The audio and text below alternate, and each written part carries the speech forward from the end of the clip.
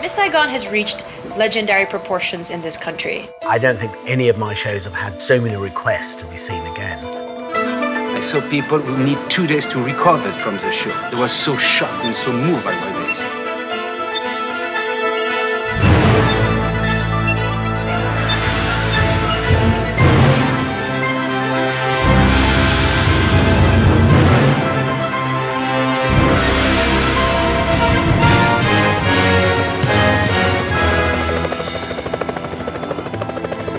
The plot, as you know, is, is the story of Madame Butterfly, which is based on the play by David Belasco. I saw in a magazine a picture of a woman being separated from her daughter at Saigon airport because her daughter was flying to the USA to join her ex-GI father.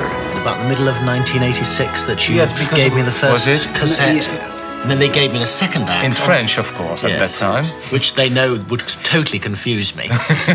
Please take your seats, ladies and gentlemen. The curtain's about to rise. it opened under a huge furore of publicity. We were everywhere. Billboards, newspapers, news. It's actually here, and I can't, I can't quite believe it. The whole future of the show is tonight. Good shows always travel, and I think this is a good show.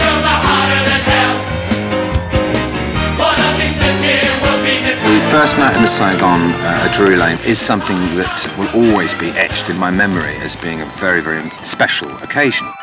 When the final curtain came down and everybody was screaming, The audience was standing up for about 20 minutes and, and would not let us leave the stage. me, I just, you know, looked down and said, My God, we've done it, we've done it. By far the majority of people are realizing that this is actually a very great musical, and most of the reviews have been to that effect, and how skillfully it does deal with that most difficult of subjects in a musical, a contemporary problem.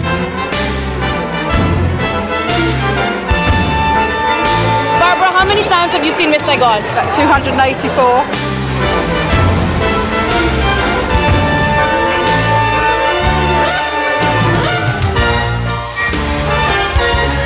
Just something mysterious about this Saigon thing. I've not seen anything that is close to it.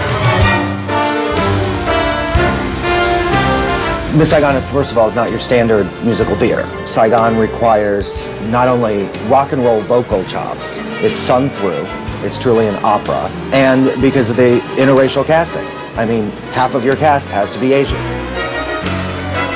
We started to conceive this new version of Miss Saigon back in 2004, and subsequently, because it was such a huge success, it's been done in several other countries around the world.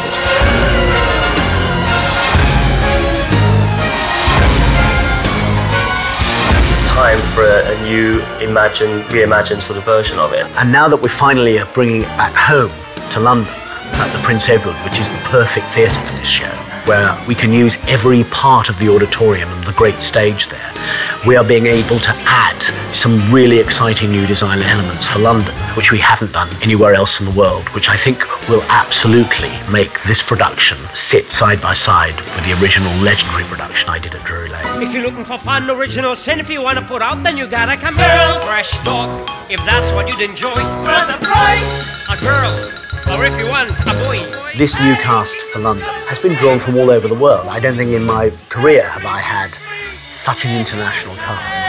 Lump you can hump for a small extra fee. This new production, Claude Michel and Alain Boublil have written a marvellous new song for the second act. The part of Hélène, it's quite tricky. Everybody want to get rid of her, so the two lovers they can stay together and they can have a life with their children. And I think that we finally could get to the heart of the emotion Ellen is going through in Act Two at that moment in the show. She's vulnerable, she's not a tough woman, and she's asking to herself questions what's going to happen. That's why we call the song Maybe.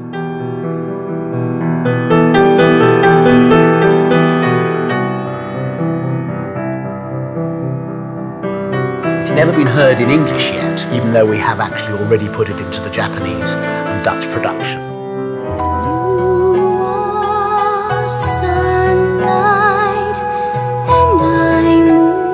We had already a miracle in uh, 1988, the first time I worked and met Lea Salonga back in Manila. She was 17.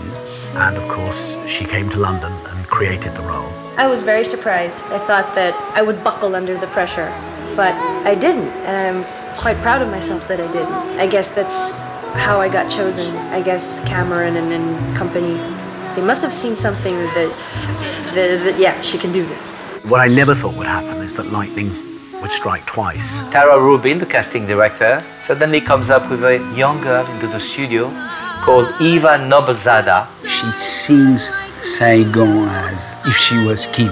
And that's another mystery that you can't explain. I'll give you a million things I'll never own. I'll give you a world to conquer when you're grown.